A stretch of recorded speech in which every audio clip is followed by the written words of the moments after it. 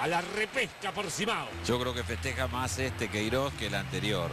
Ya llevarse dos goles, decíamos, era un poco de tranquilidad. Simao otra vez, media vuelta al borde del área.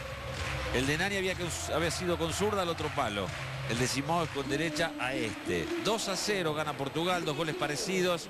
Y la alegría de Queiroz, que sueña con la posibilidad de jugar al menos el repechaje. Se siente a gusto Simao como goleador vital contra Hungría, aportando este tanto